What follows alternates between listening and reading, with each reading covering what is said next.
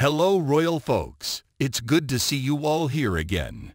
Before we move on to any further details, I would really love to thank you all for your enormous love and support. And in case you haven't subscribed yet, I mean what are you waiting for guys? Hit that subscribe button now. Also please don't forget to press the bell icon. The UK newspaper front pages were awash with outrage and upset following the launch of the Duke and Duchess of Sussex's six-part Netflix documentary series.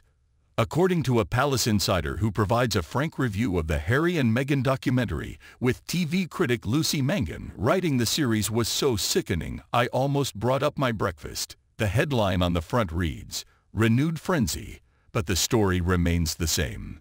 The Daily Mail offers a fierce critique of the royal couple, citing critics accusing the pair of wanting to bring down the monarchy and describing the tell-all as an assault on the Queen's legacy.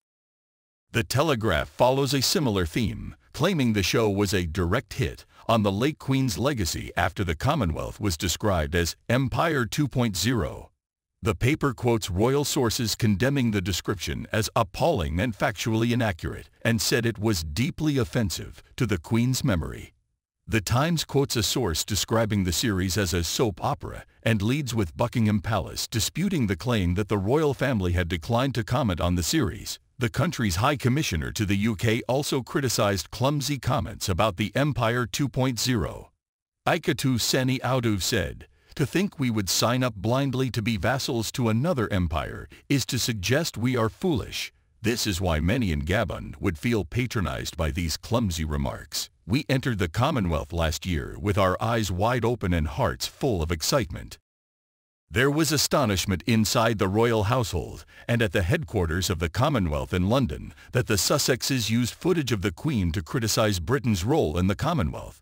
The documentary showed footage of the late monarch at a Commonwealth summit in 2018 and a recording of her broadcasting to the British Empire in 1947. It was interspersed with criticism of the organization by writer Afua Hirsch and academic Kehinde Andrews, a professor of black studies at Birmingham City University. Miss Hirsch said, I sometimes call the Commonwealth Empire 2.0 because that is what it is. Professor Andrews, who has previously claimed that the royal family was deeply embedded in racism, insisted the Commonwealth had not changed from the days of empire, adding, If you look at the black people in the Commonwealth, well, their conditions are almost just as bad as they were 50 or 100 years ago. Royal sources were exasperated that Harry was, in the words of one critic, trashing the Queen's life work by using the Commonwealth criticism in his TV series. Another said, that was astonishing. It really did strike at her legacy. At the Commonwealth headquarters in London, staff questioned why Harry and Meghan chose well-known British critics of the organization and of the monarchy to take part in the series instead of asking member nations why they joined. A Commonwealth source challenged the view that it was perpetuating the empire. He said, this is very odd, a historic view that seems to ignore why our diverse member states freely joined the Commonwealth based on their shared values and what they gain from their membership.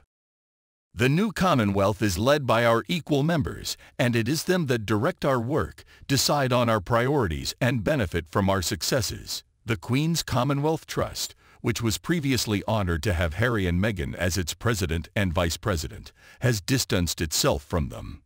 So what do you think about this news, guys?